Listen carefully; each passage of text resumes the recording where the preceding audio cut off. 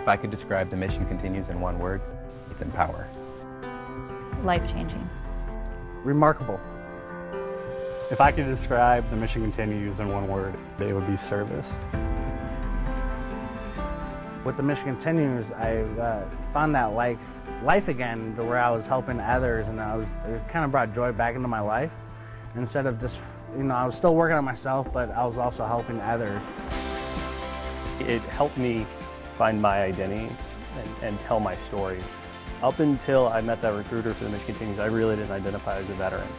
When I, I got with Mission Continues, I literally sat in a room with a hundred other vets who wanted to serve and make a difference in the world. And through a lot of the conversations with those vets, I realized like there is a way to talk about this. There is a way um, to fit in, but not just be defined by your military service. The great thing about the mission continues is they're not there to transform veterans. Veterans aren't broken. I wouldn't even say they're lost.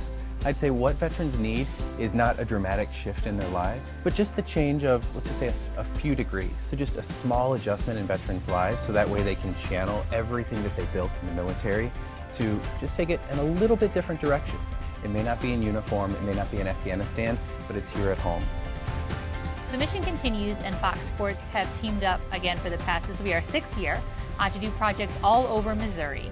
And we come together to bring veterans and non-veterans alike in the community to go after schools, rec centers, sporting complexes, and really spend a day of service. So we do a lot of rehabilitation, revitalization, and make the, the facilities more user-friendly, more accessible to children, people with disabilities, and really give these children a safe and fun place to you know, release some of that energy and get out of the house and, and be involved. It's easy to think about the many challenges that we have as individuals, but until we're put in a position where we go out and we help other people, that's where we recognize that, that there are people out there who need us. And that when we're needed, we stop thinking about ourselves and our own needs. But in that process, our own needs, they don't seem as big anymore um, because we're focused on a bigger picture and on a bigger mission.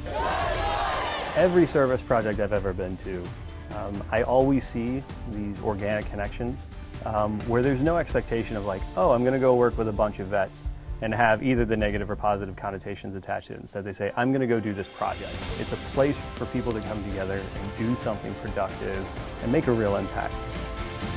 It's absolutely important that the mission continues to keep doing what they're doing, partnering with great organizations like Fox Sports to make sure that we show the community that veterans are here. We're not going to disappear, but we're here to continue to work, to continue to make a difference. And we're here to, to bring everything that we've done in the military to our home community. We're ready and willing and able to do it. So we're ready to get to work.